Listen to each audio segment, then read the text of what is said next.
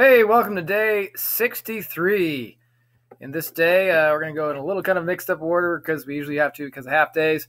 Basically, we're going to really dig into the cardiovascular system and start making our way into the excretory system with GR44 this week.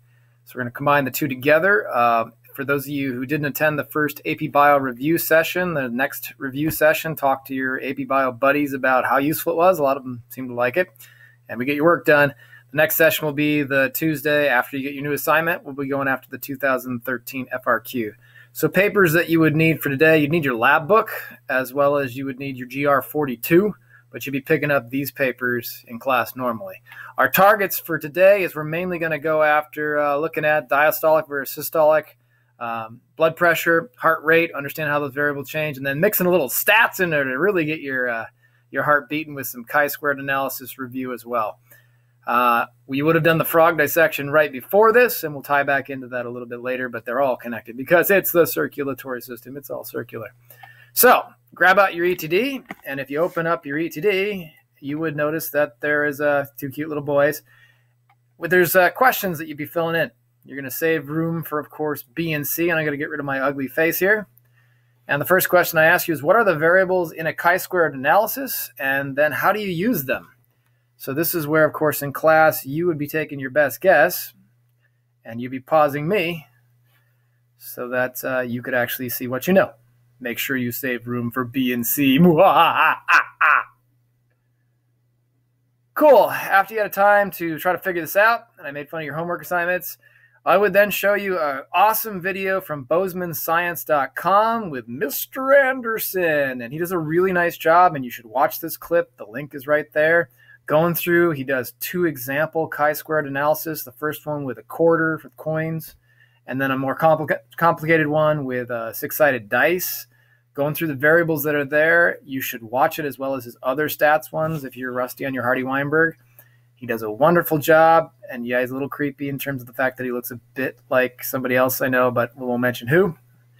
The other part of it is at the end of it, he gives you an animal behavior, uh, one to practice out. You can check out if you got the right results with that, because often they'll go after animal behavior, or they'll go after Hardy Weinberg with it, or they love to do uh, genetics with it, because it's good for anything that you did any math with this year in AP Bio.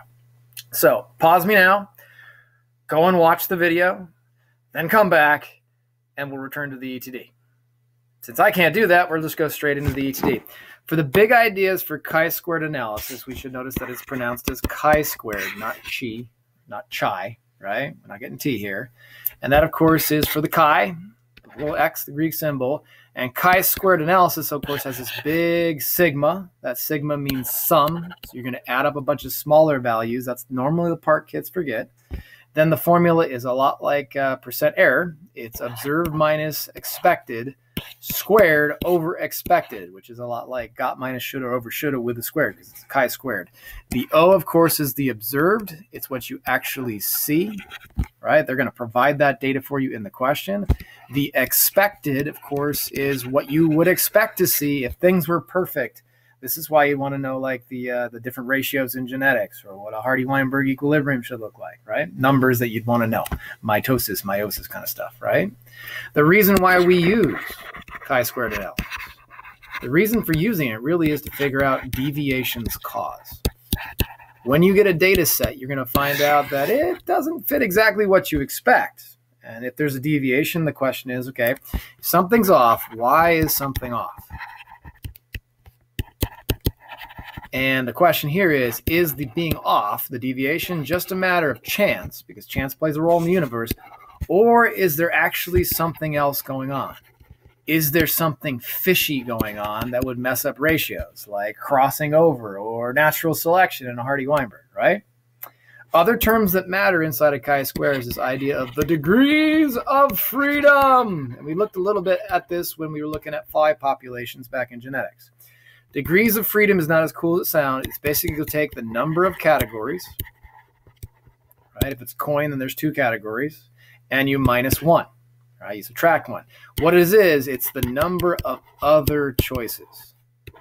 So if I'm heads, then my other choice is tails, so that's one degree of freedom. If I've got four different genotypes uh, or phenotypes for flies, then that means there's three other choices that I could be if I'm a red-eyed fly or whatever right? So then we take that, and most importantly, we take that and we use that on a chart, but then we compare it and use it to find this thing called the critical value. And like it says, it's critical. You use it to criticize, to analyze something. That will be on a table that they would provide for you, right? And when we look on that table, you need the degrees of freedom, and you use it to find your way on the table, and you always use 0.05, which is 5%. That's the 5% probability that you're always going to use for AP Bio because we, of course, are not stats. We don't care that much about the numbers, right? We care more about the interesting stuff called biology. But we'll let stats people do that. If, crucially, you calculate and you find that your chi-squared value, that's the one that you calculate where you have a bunch of little subtotals, you add them all up to get this weird looking number. If that chi-squared value that you calculate is, of course, less than the critical value, that's the one that's on the table that they'll give to you then that means a crucial thing. There is deviation, but it's just due to chance. This means that you can accept the null hypothesis. The null hypothesis being that there was no strange thing going on, there was no correlation between the deviation and some other variable. It was simply deviation was caused by chance. Right? Don't forget, null means that there's no correlation. Right? If, however, you find out that the chi-squared value is greater than the critical value, meaning all the little numbers that you added up were bigger than the one of the critical chart, well, that criticizes it, and that means that you reject it. That means that there is something fishy going on. The deviation is just is not just chance, right? There's something smelly about it, and if we're looking at a genetics problem, that's probably going to be crossing over you know, recombinant chromosomes. If we're looking at a Hardy Weinberg, that's probably going to violate the five different characters or characteristics that are required, the five requirements for Hardy Weinberg. You got some natural selection, you got some sexual selection. That's usually how they like to use it, right? So the good news is this is a more clear way that you can actually read it. It's on the PowerPoints that I also provide for you since they don't have to talk on the screen while it's doing it. So if you had trouble with that, definitely watch Mr. Anderson because he'll go through the two examples and then you can see how these two things figure out. But really, chi-squared is almost always on the test. We'll see if it's on this year, but it is every other year. And it's really just figuring out, hmm, is the data that I have, is it is it off just because there was something that chance threw it off a little bit, like back when you were breeding flies and flies gone wild?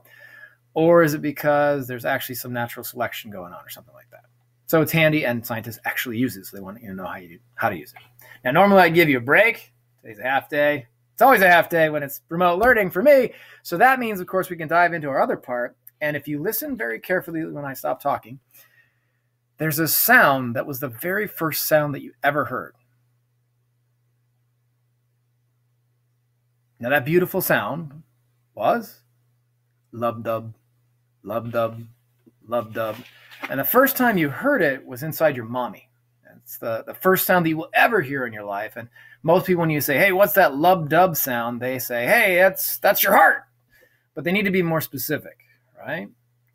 Now, ironically, it's also the last noise you will ever hear. Because when your lub dub stops, you stop too, right? So I want to know what specifically is the lub dub sound in your chest, and then what is SP, DP, and MAP, and how is it related to it?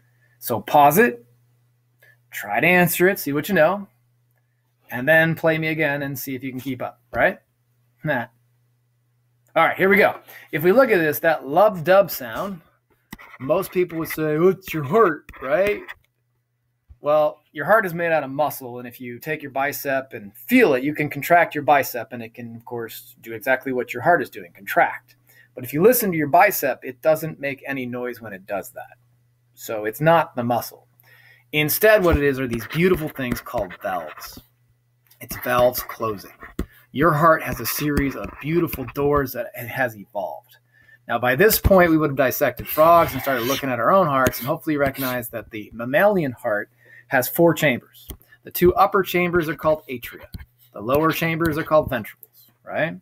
So if we cheat and we go down here to the uh, from the, the patient's view, this would be their right ventricle, there would, of course, be some connections between this because blood has to come into this thing called the atria, and then it has to go through a door. And this door, of course, is called the atrioventricular valve.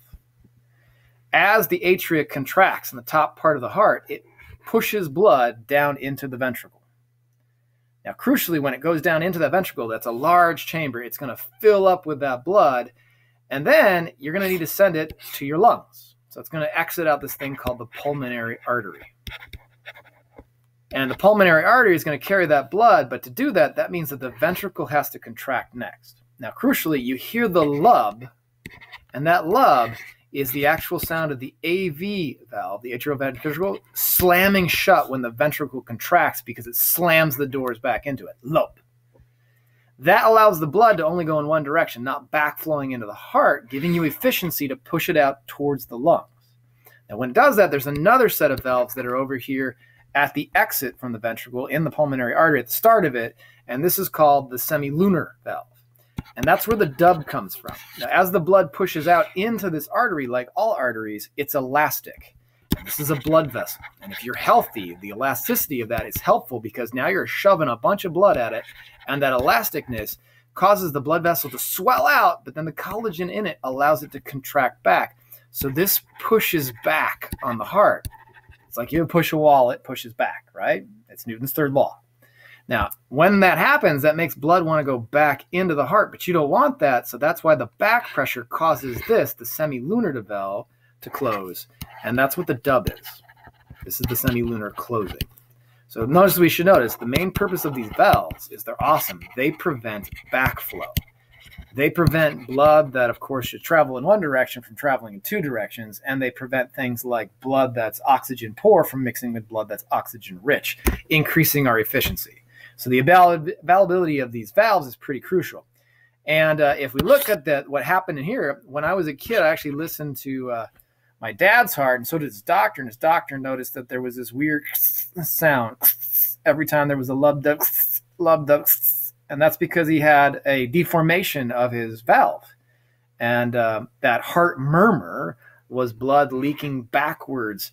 And it's fairly common for for humans because of course our hearts don't always form correctly. There's a lot of genes that are playing a role in forming that. We'll talk about that later. But that heart murmur is a fairly common uh, problem with cardiovascular systems where that valve doesn't form correctly or overuse for a long life causes it to deform and now we actually have surgery where you can fix the little cords the chordae tendineae that attach to those it's a pretty amazing time we live in frankly right now along with that you can notice that this pushing creates pressure and there's two types of pressure there's sp called systolic pressure. And then there's this thing called DP, which is diastolic pressure. We should just call them that. Now, diastolic pressure and systolic pressure are different. Systolic pressure will always be the higher pressure. This is the pressure of, of course, pushing the blood to the system, which means what this really is this is the pressure of the ventricles contracting as they shove out the blood, they do it with all the force of that massive muscle, like your left ventricle, out to your entire body, and the other one to your lungs, right? That's the higher pressure because it's got to have that push of the ventricle. When you measure this, this will always be the higher pressure reading that comes first, and that tells you about the heart's health. If you've got a good systolic pressure that's not too high, not too low, then the heart is nice and healthy and strong. If it's not, you run the risk of not getting enough blood flow, and that could cause other problems like lack of blood flow to your brain. Diastolic, of course, always be the lower pressure. And I always remember diastolic is the dying down pressure. Systolic to the system, dying down pressure is the diastolic because this will always be the lower pressure. This is the pressure of the vessels pushing back. You shove the vessels and they push back. So, what this gives us is this gives us the vessel's health. And considering the things like arteriosclerosis, where your your blood vessels actually get clogged up and harden over time with plaques because you like steak and fatty acids too much, it's kind of important that people understand both the health of the heart and the health of the blood vessels. Now, cool thing is there's an average good number for an average adult, but it's different for everybody because we all, of course, have variations in our size, and that's what your lab goes after. It's 120 over 70. You know, if my doctor says, "Hey, you're 120 over 70," and I'm always watching the needle when they do it, that comes in, hey, that means that my heart and my blood vessels are healthy. But you'll also hear another thing called the MAP. And the MAP is what they use in emergency rooms. It's called the mean arterial pressure. And mean, the average, arterial, talking about your vessels, right? And there's different ways to calculate it, but the one I like is it's one third systolic plus the two thirds the diastolic, which gives you your MAP. And you put that together to give you one number. And anything over 60 is a pretty good sign that you're going to be okay as long as it's not too high. Notice that it does it at two thirds diastolic because for two thirds of the heart cycle, it's filling up the ventricle. That's two thirds of its cycle. And then one third systolic because it's a very short amount of time where the ventricle actually goes one third of the cycle if everything is humming along just right. Here's a way you can read it a little bit clearer. You can always pause it, right? And you can look at the note sheet. The other thing we should notice is the lub dub sound is not the actual muscle, it is the valves. The atrioventricular, when the ventricles contract, they're slamming shut, giving you the lub. And then the semilunar valves that run into the aorta and the pulmonary artery are the ones that are giving you the dub, right? Lub dub, lub dub. And here's a good animation with some sound effects supplied by Neil. We're filling up. There's one third of the cycle, or two thirds of the cycle to fill up the ventricle down there at the bottom, and then you can see it's filled lub, dub, lub, dub, although it does much smoother in your heart, right?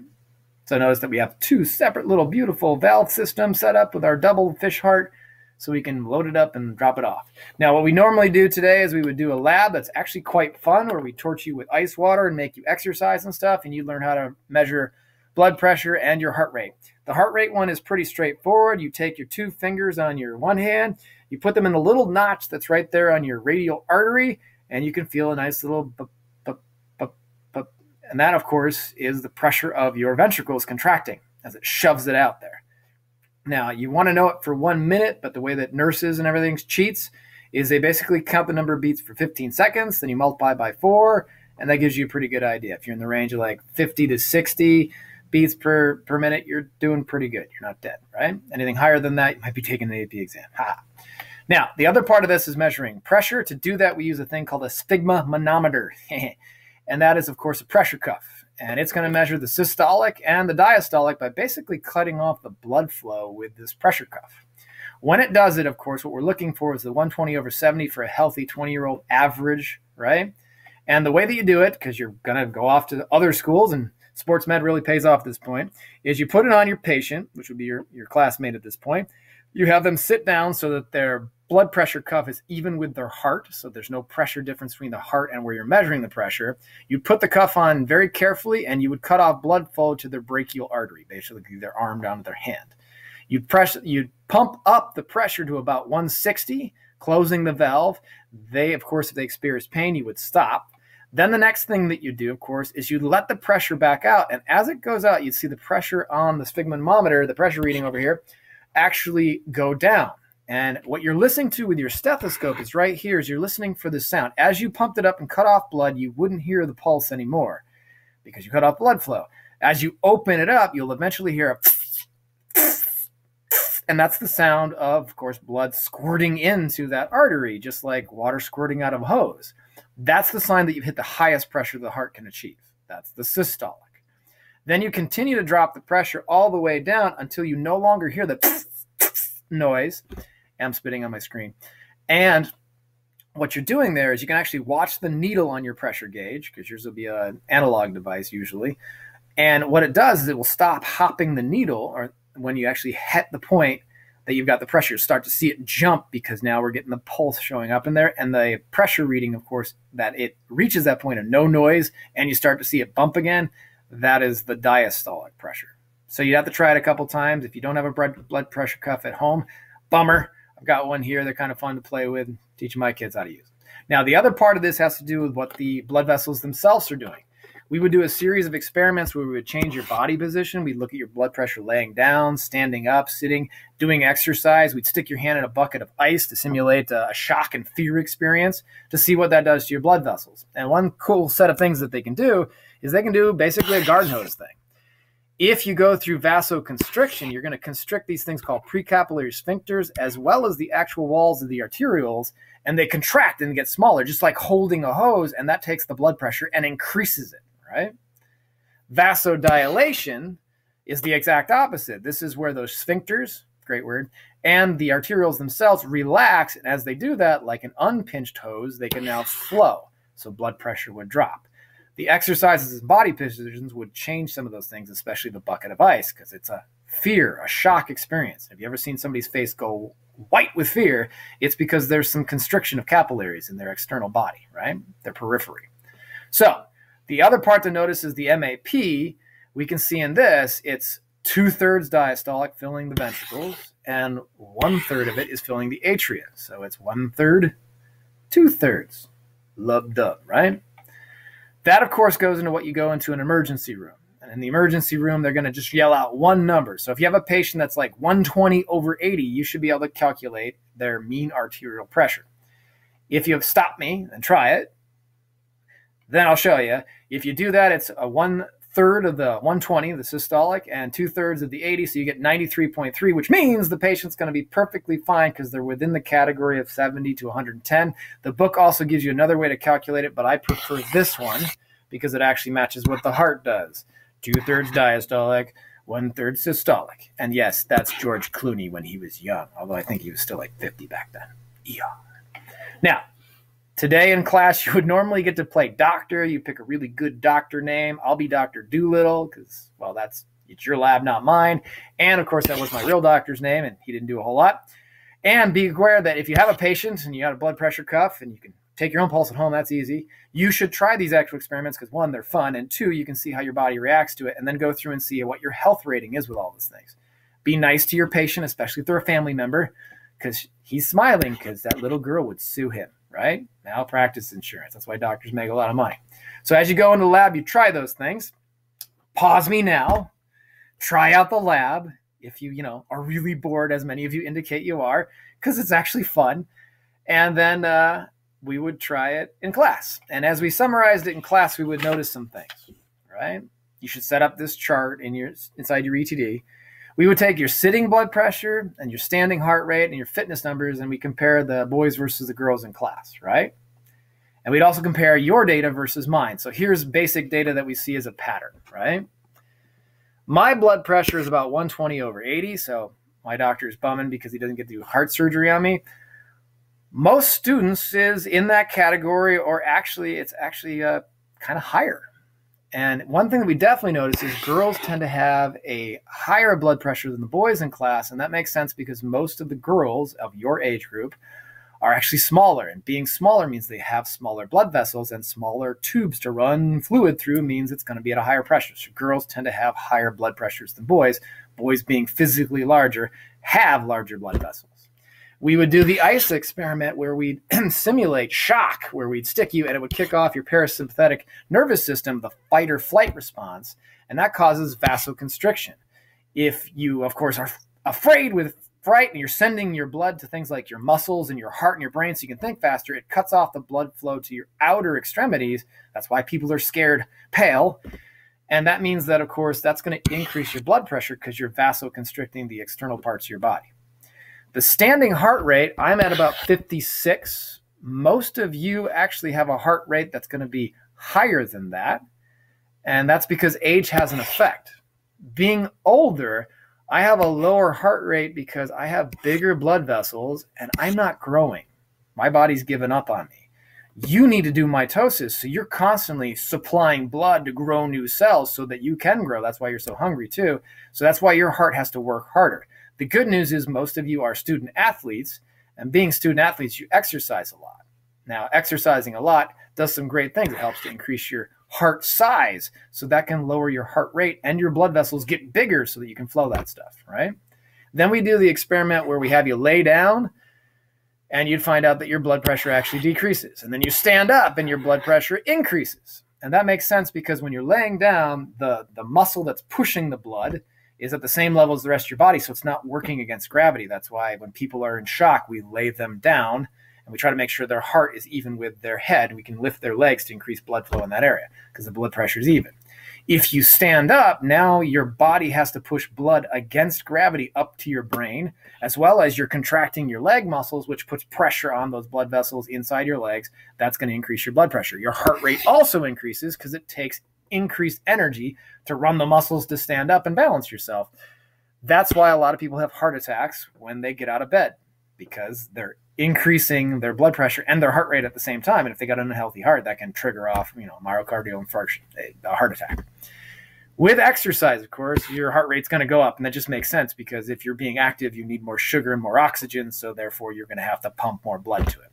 With fitness numbers, mine's 62. You should find out your own The weird thing is my uh, heart, uh, my fitness number actually tends to beat most students, even though I'm an old fogey. And most of yours are pretty good. They're going to be up in the 50 to 56 category, and that's because you're athletes, most of you, and you're young. And being athletes, that means you exercise regularly, so that exercises your heart, and your heart gets bigger. And if it gets bigger, then it has to do less pumps. Uh, really good athletes can have a, a heart rate that's like down in the 40 category if they're really healthy because they don't have to pump it so much. It also makes your blood vessels larger because, like any muscle, if you exercise it, it gets bigger because it's needed.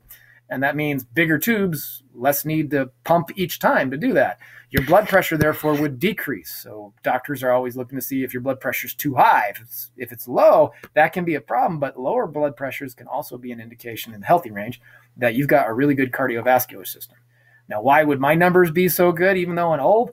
I was a Division One athlete, so I played way too much soccer in my life, and now I just chase little boys around. So my numbers aren't as good as they used to be, but I'll get over it. All right. Cool things about this is you should try the lab because it's fun and you'll learn stuff from it. It'll get you ready for medical school or nursing school or whatever you're going to go into, or just try it out to learn it. The other part of that is I would normally show you at this part of the day a pig heart, and I would show you that the atria are much thinner because they only have to blood, pump blood into the ventricle. The ventricles are super thick because they're pumping to the whole system or the pulmonary. And then you'd actually see the valves that are there with the cords that attach them. And I'd talk to you about how uh, this certain person that I'm related to had surgery on their chordae tendineae to replace them because their heart was getting old and they were getting a murmur. I won't say who it was. That, of course, means that they repaired the cords, put in a plastic uh, little ring in here to reinforce the doors, and now the lub dub sounds correct. And I'd show you some cool stents where they can go in and fix things like the coronary arteries that feed the outside muscle of the heart. When those get filled up, they have to do bypass, which means they have to take and literally create a, a detour around those things. And if you have like a triple or quadruple bypass, that's that many more blood vessels you've attached to the coronary arteries, the ones that feed the heart itself and that can prevent the, the heart from not getting the oxygen it needs, hence preventing a heart attack from happening, because that's when the, the heart muscle starts to spasm and die and can't get enough oxygen. Less donuts, although I do miss my NHS donuts. Cool. I'm done blabbing for now. Hopefully, you got an idea of how diastolic and systolic blood uh, pressure works. Systolic being the system, the higher one, diastolic being the black back pressure of the actual vessels, telling you about the, the vessel's health. We'll continue with a bit of cardiovascular next time, and then we'll do a respiration lab virtually, which also is fun and sad that we'll miss it, but you can do it at home with really bad music. You're going to start digging into GR44, which is the excretory system. Kidneys are really interesting things with their nephrons, and we'll dig into that pretty darn soon. All right, do not forget that we have a after school on the 21st will be our next AP review session number two, where we'll finish off the 2013 that you'll be assigned that day. This week, you should be working on the 2016, unless you already did it with me on the 14th. Yeah, sure. Stay cheesy, Tahoma. I will.